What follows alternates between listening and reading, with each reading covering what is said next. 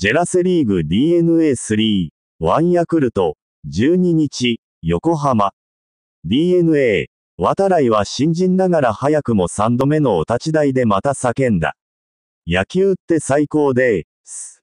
同点の4回の勝ち越しだがプロ初の決勝だとなり、チームの連敗を3で止めた。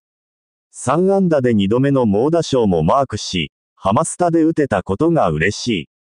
ファンの皆さんの前で打ててよかった。喜んでくれる瞬間が幸せ、と笑顔が弾けた。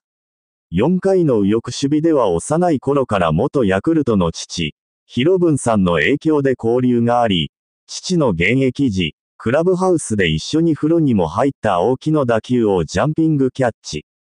成長した姿を披露した。同点で迎えたその裏の西三塁。中前に弾き返し V 打を放った。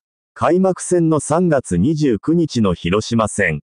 横浜から2草連発デビューも、以降はバットが湿った。やることは変わらない。というも、打席に向かう前にはベンチで先輩らに、打てる言葉をかけてください、とおねだりしていた。浜の一番星は自身を奮い立たせバットを振り抜いていく。内藤夏樹。